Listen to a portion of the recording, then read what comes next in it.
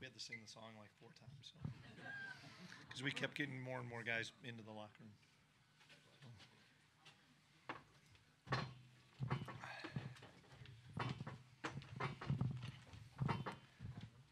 All right, pleased to be joined by the national champion, North Dakota State Bison. Closest to me, head coach Chris Klieman. And then the student athletes, Easton Stick, Darius Shepherd, and Levi Jordheim. We'll start with a opening statement from head coach Klieman, followed by questions for the student athletes. We'll dismiss the student athletes and then have questions for Coach Klieman after that. So, Coach Klieman, You bet. please lead us Uh, obviously really thrilled and excited about the, the win today. I knew it was going to be extremely hard, and I knew our guys knew that as well. Eastern Washington had nothing to lose, and they were a really good football team. Um, and the game was back and forth. We were able to make a few more plays in the second half. Uh, I, the time of possession was huge, and we were able to control the football and control the clock. Give them credit; they made some plays on us, and and uh, and, and we missed some opportunities as well, both sides of the ball. But uh, couldn't be more proud of these 24 seniors. Um, we talked in, in July when we were over at Father Meyer's house for a little dinner that um, this was one of the goals. And we didn't say it publicly, but every one of those guys in, in, that was with me that day would have said, um, We want it to be perfect this year. And uh, we knew it was going to be hard, but if we attacked every day and uh, held each other to the high standard um, that we all expect, we could do that. And I'm telling you, there wasn't one one week where I just said, "Man, we just weren't ready to play." And you guys can see our schedule. We were ready to play every week, and that's hard in college football.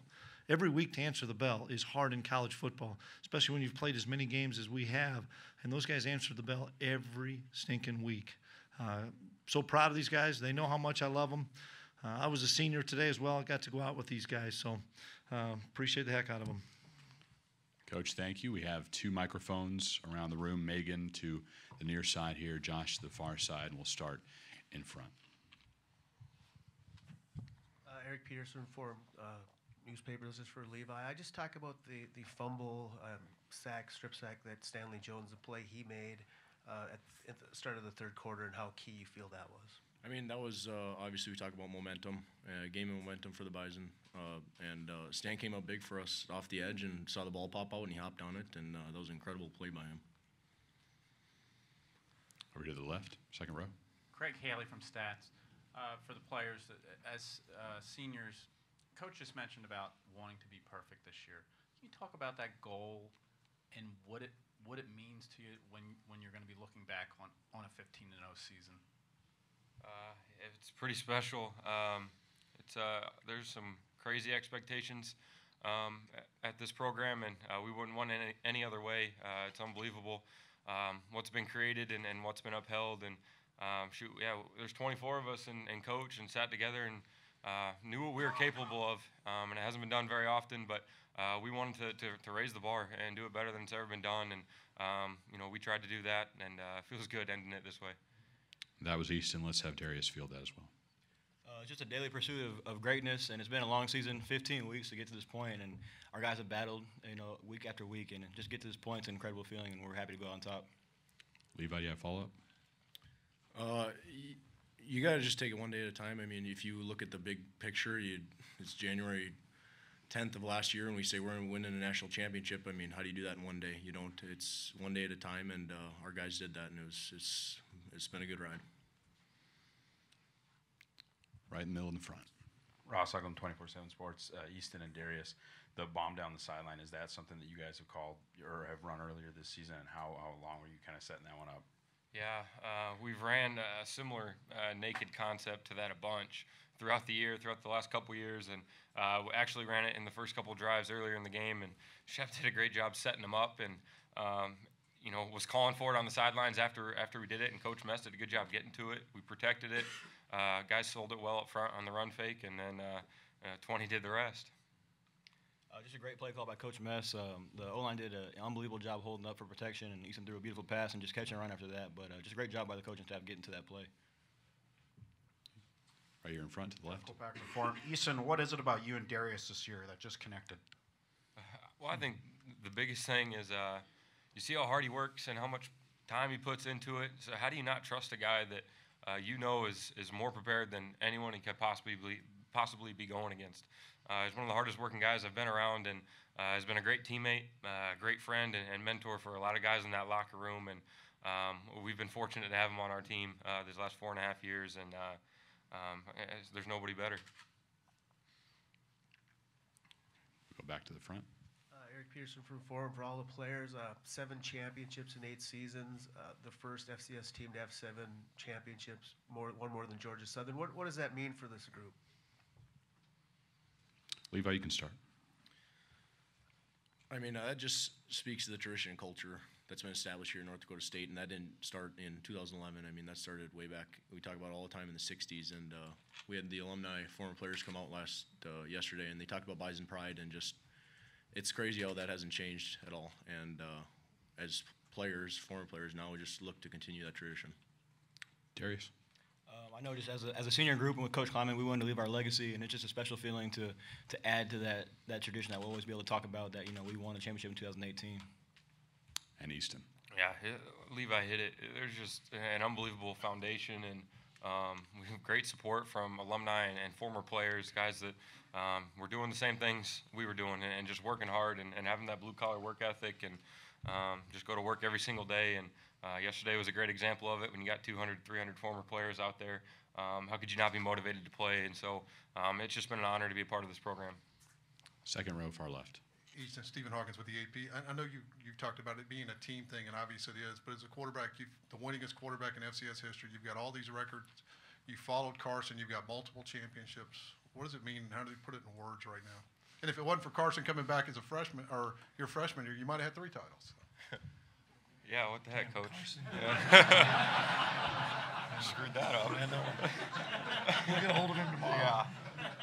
Yeah, trust me, he knows. Uh, no, uh, it, this place is special, and uh, quarterback's a u- unique position in the fact that you're only as good as who you're surrounded with, um, and that position more than anything.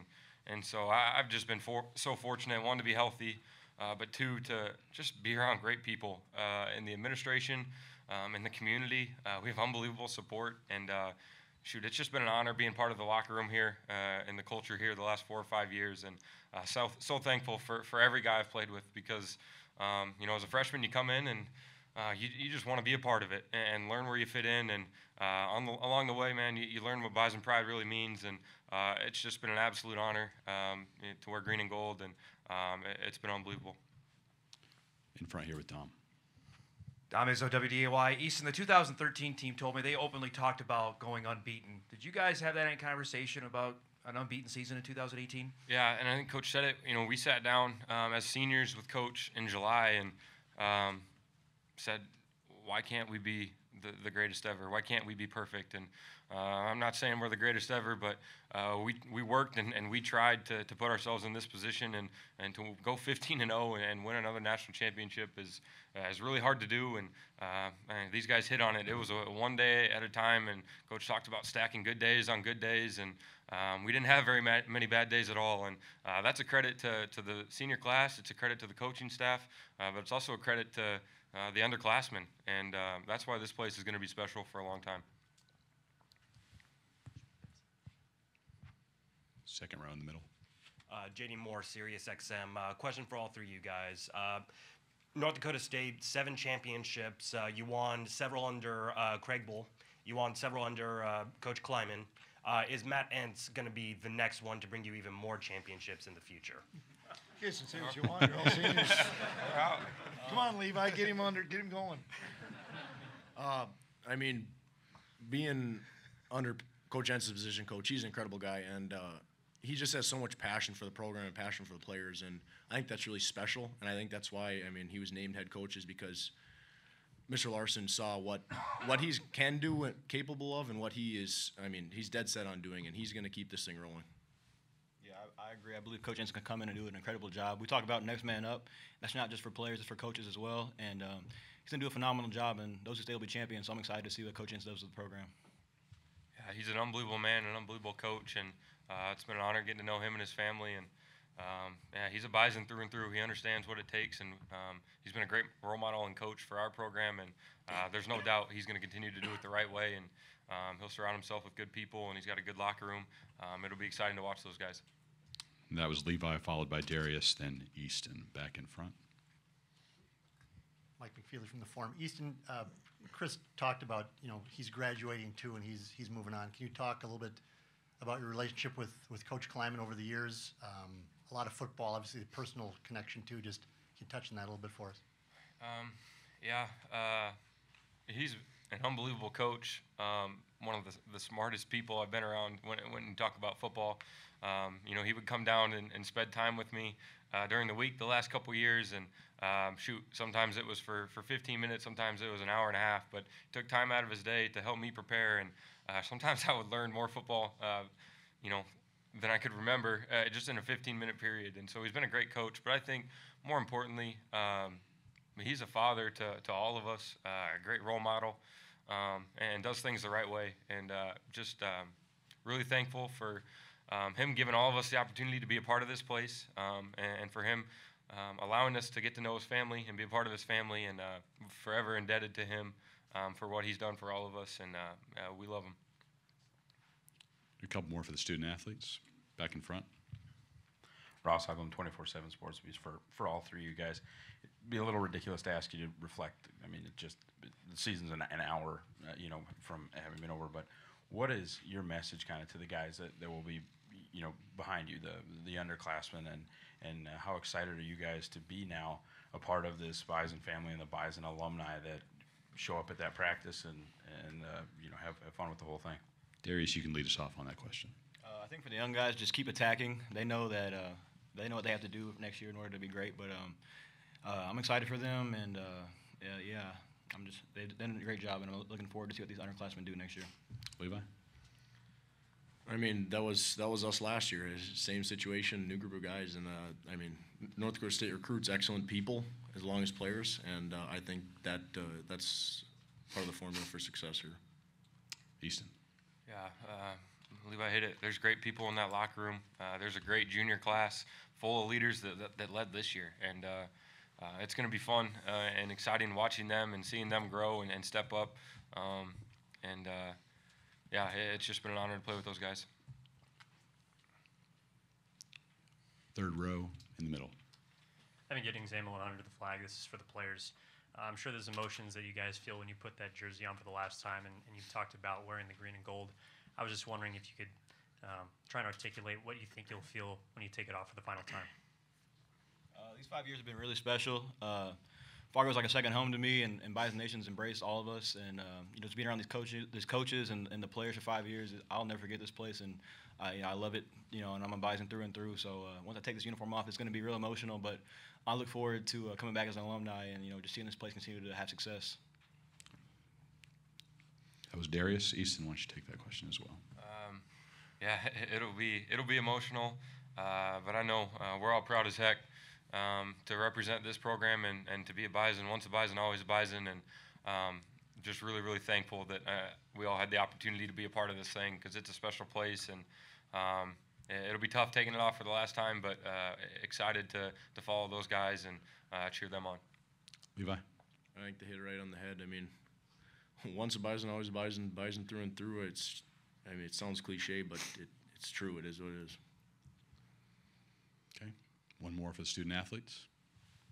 Back in front, Jeff. Uh, Jeff Kolpack. Easton, was comparing yourself to 2013 part of the equation this year at all as a team? Uh, no, it was about us and, and, what we could control and what we could do.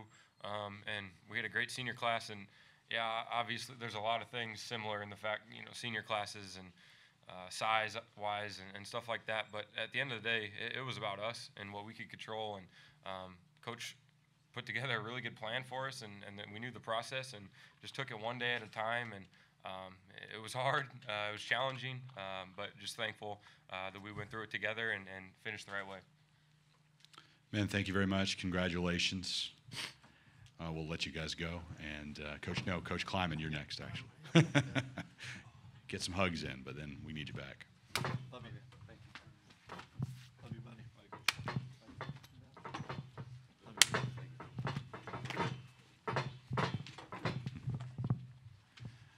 Questions for head coach Chris Klieman? Start in the front on the far right there, coach. Did the movie end the right way with Easton running to the end zone and you holding up the trophy? Yeah, it really did. It was um, a special journey, and and um, to go out on top with these guys uh, over the last few weeks, knowing it was going to be my last opportunity for a couple of games, and um, to have Easton put it on his shoulders in the semifinal game, and then championship game for us to play a really good football team and play really well. Yeah, it, uh, 15 and 0, end it with a national championship. Boy, doesn't end any better than that. The, the story is complete. In the middle. Keith Albertson, KVRR. Coach, are you glad that Easton ran it into the end zone instead of sliding down inside the five? Yeah, he and I talked about it afterwards and stuff. He was going to score a touchdown. I don't blame him. Get in the end zone, and um, I know the right thing to do maybe would be to slide and stuff, but we were we were in pretty good shape, and I thought we'd stop him, but um, he was probably too dang tired to fall down anyway. He just wanted to finish the finish the journey there. Back in front. Dom. Dom WDAY. Chris, I asked you this last year about Ty and Georgia Southern. Now you passed them in eight years to have the most national championships. What's that mean to you? To you? Wow, that's that's pretty remarkable. Uh, I know those Georgia Southern teams well, and uh, they were a dynasty for a number of years, and uh, this has been an absolute dynasty. And there's no ifs, ands, or buts. This is, I think, the greatest run in college football. It's so cool that I've been a part of it and um, been part of as assistant, as a coordinator, and a head coach, and just truly blessed. Came to Fargo eight years ago. Took a chance with my family to come to Fargo. Didn't know much about, uh, other than they had great tradition, great football tradition, and um, uh, knew it because of Darrell Mudra. Knew it because of Ardell Wiegandt, and it was a pretty good move for me after eight years. On the right hand side.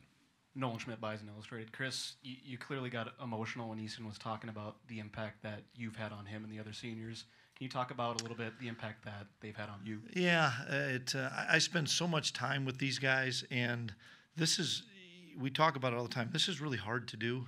Uh, what um, you know, going undefeated, being around them as much as we are, uh, answering the bell every week, not having a day a, a, poor day, not having a poor Saturday. Everybody thinks that uh, it, it's just an easy process, and it's not. And it's uh, you attack the process every day. I spend a ton of time with Easton. I was in all three of these guys' homes, uh, visiting with their parents, and told them that uh, I would take care of them, and uh, they've taken care of me. I, I've been so blessed to be a part of this program, and they've done way more um, for me than I'll ever do for them. But uh, I'll be forever um, indebted to those guys, and, and, they know how to get a hold of me. Ross Uglin, Bison Report. Chris, how kind of cool is it for you to hand the program off to a friend, somebody that you hired and, and brought here, and what can the fan base kind of expect from Matt Entz? Uh, the culture is not going to change. Um, Matt's uh, one of my closest friends. When I was able to get the head job here in 2013, uh, going into 2014, it was the first phone call I made, and I, I wanted uh, Matt to join me because I know what kind of person he is. I knew he was a really good football coach, but um, coaching football is one thing. Being a great role model, being a great mentor, being able to lead young men is, is more important than X's and O's, and uh, he's that. And I'm so happy for Matt. Matt's uh, the program's in great hands, guys. The, the, the culture is established. Um, we kind of passed the torch from the seniors to the juniors just now in the locker room. Um, it, it's going to be hard. We, we know that. Shoot, this was hard this year. The, the program's in great shape. Matt Entz and he and Matt and I are going to continue to talk on a weekly basis. I know we will, and I, am so excited for Matt, Brendan, and, and the kids because he's he's earned the opportunity. Uh, Eric Peterson from the Forum. Uh, look back over eight years as an assistant head coach, 112 and eight. Do you, do you still marvel at that? And then when Easton broke free on that last touchdown did parts of your career flash back, or what was kind of going through your mind? No, but you know, you say 112 and eight. I mean, holy cow! I mean, that's that, that's that's something that movies are made out of, and dreams are made of, and books are written about. You know, it's 112 wins and eight losses and seven national championships. Um, I, I, I pinch myself every day, and you know we were able to win seven out of eight, And lo and behold, if we'd only won six out of eight, how much ridicule we'd had because we'd only gotten six national championships, you know. But seven out of eight. And the one year we didn't win it, we beat Iowa uh, at Kinnick Stadium when they were ranked 12th. That was still a pretty good year and getting beat in the semifinals. You know, not not everybody thinks that. I, I learned that at Hornbachers one day, but um, it uh, it's still it was still a pretty good year. Back in front to Jeff. Chris Shepherd had one touchdown last year. That's it. How about that? What, what changed this year with him and Easton? I, I'm just remember all the time going in June and July and going to work out and seeing those two guys on Dakota Field or out on our practice fields, always getting together, always throwing, always working timing routes, always being around each other. Both of them are graduates. So it was great because I'd see Shep down with Easton when I'd go down there and visit with Easton during the week. Shep would be down there, and those two were just so much in sync. They're roommates, they're best friends. They were so in sync, and uh, I, I knew that he was going to have a breakout year. And uh, I told the guys, I think on ESPN, I thought if they pressured us, that he'd have uh, 10 receptions for 250 yards, and, and, and it was half that. He had five for 125 and two scores. On the right hand side. JD Moore, Sirius XM. Coach, I know you're uh, a head coach of two programs for a couple more hours. Yep. Uh, but why was it so important to you uh, to finish the job here at North Dakota State before fully going on at Kansas State? Well, I think it was important to the seniors first. I think it was it was really important to uh, our administration here, led by Matt Larsen, that uh, he wanted me to finish this journey, and I think it was really important to Gene Taylor at Kansas State that uh, we were able to finish this journey because uh, Gene was a part of it in 2013, and, and uh, you you can't quit on those guys with a few weeks left. They've given me everything for four and five years, and um, I so once again I so appreciate our administration at North Dakota State getting together with Kansas State and saying, "Hey, let's make this work." And the guys were going to have it no other way. They we talked, and I was Easton said it I think on Friday. I was transparent with those guys from the start, uh, and I think that probably helped the situation. Uh, but I was not going to go out without going out with these guys. Eric. Peterson, Forum newspaper. I just talk about the Stanley Jones play when it was kind of a little back and forth there in the third quarter. How big was that? And is it more significant when a, a kid who played in, at a North Dakota high school makes a play like that? Well, it absolutely is when a kid from North Dakota makes a play because um, it's an under-recruited state and there's some great football players in North Dakota. But uh, to have the sequence of us getting a big turnover and then us turning it back over to flip the momentum again because they had momentum going into halftime. We took the momentum right back and then gave it back to them again. And then Stanley makes another uh, makes a great play. Uh, it was you know you don't see that very often three turnovers that quickly, but uh, and then we were able to capitalize on it with a great play that I think he I think Easton hit Shep on that. That was a big time play by Stanley and really happy for all those guys, especially was really cool for those kids from North Dakota. Uh, Chris, your starting fullback wasn't in the game today. What happened there? Yeah, uh, uh, unfortunately, and we love Brock. Brock um, uh, failed an NCAA drug test uh, after the semifinal game for a banned stimulant, um, and uh, we went with the appeal all the way till Thursday. Uh, it, the appeal was denied, and so he was ineligible to play uh, the football game. And feel awful for Brock. Everybody in that locker room loves Brock. Brock was a part of this national championship, and that's what happened. I assume the ESPN ratings were a little bit higher today in Kansas. What do you say? What's your message to the folks who are watching the Bison today down in Kansas? Well, thank you so much for the support, and uh, thank those uh, uh, players that I'm about uh, ready to go um, start another journey with. They put some pretty cool stuff out on social media. Um, excited about uh, the challenge ahead. Um, it was cool to be able to wrap this up here with, with these guys and, and do it the right way. But uh, uh, I, I know this. There's a lot of people in North Dakota that are going to be fans of Kansas State, and there's a ton of people in Kansas that are fans of North Dakota State. And it's it's really neat how both uh, institutions came together. Time for a few more. Chris, what was uh, Bruce's status? Was that a game time deal? And, and when did you make the decision he couldn't play? Well, we knew it was going to be really tight, um, and it, he didn't. It didn't respond as well Monday, Tuesday of this week, but he still wanted to give it a go. Uh, and we were able to dress a few more guys, and, and so we warmed him up, and he and I talked, and we used him as a play and a decoy because I want him to play in the national championship game. But Bruce is also a, a very much a team guy and said, you know what, let's give it to those guys. Let's give it to Lance and Ty, Seth, because I can't go. And uh, so I appreciate that. You know, Levi did that last year with Chris Board. We thought Levi would be able to play, and he said, I can't, I can't go. Chris is better right now. And uh, uh, Bruce did the same thing. Gave it a little go on warm ups and said it just wasn't responding, and that's a team guy. That was a torn UCL. He, he tore it for Lance Dunn. Yeah, I think those are typically six to eight weeks, something, and he was back in four. And um, you know, h- how happy are you for Lance Dunn? For starters, he's from my hometown in Waterloo, Iowa, and you know, to have a championship game taken away the year before, even though he played a little bit, he was 70%. And then to think he was going to have it taken away again, um, he, he was not going to be denied. And when we came back after the semifinal game and he started practicing a little bit and he just started getting better and better, then we took four days off. Boy, he was, he was locked in and he was uh, a difference maker today. What's going on in your mind when you've got the trophy in front of you and thousands of Bison fans chanting "Thank you, Klieman"? It's uh, really special. Uh, obviously, you know, I love the fan base here. Um, they travel in droves, no matter where we're playing. Uh, Frisco, especially, it's it's it was so cool because I, I mean we had had to have twenty thousand people out there, and I know there was a bunch probably in the tailgate lots too. Uh, it was it was really special, really cool, uh, something I'll never forget. And then um, the BFPA, the Bison Football Players Association, uh, made me an honorary member, gave me a hat, gave me a uh, lanyard, um, and told me once a Bison, always a Bison. And I'm not even a, a graduate of NDSU, but I'm a part of the BFPA, and uh, I'm sure that Sean Fredericks will send me an invoice, and I'll be happy to send him a check. Uh, Chris, you were in attendance last night for the Walter Payton Award, and uh, right here, sorry. Yep.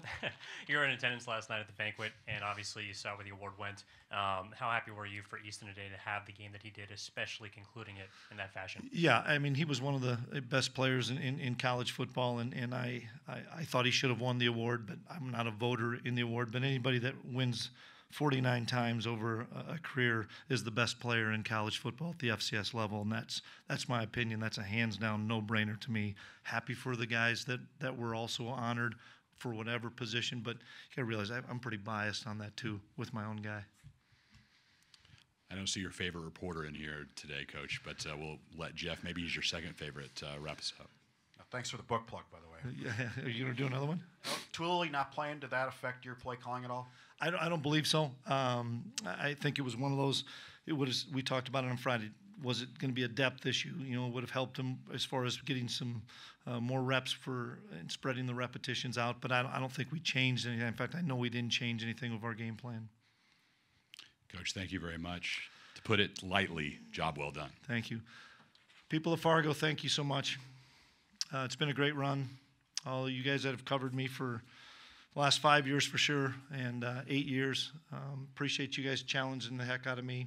Um, moving forward, I'll do anything for you. I don't know when I'll give you my number. Might might be might be a little bit, but uh, um, thank you. you. You know, you guys are the reason why NDSU is on the map all the time, and your coverage of North Dakota State football, and you guys know, um, is really special. And so I can't thank you guys enough. Now get yourselves down to Manhattan and watch us play. Appreciate it. Thanks, everybody.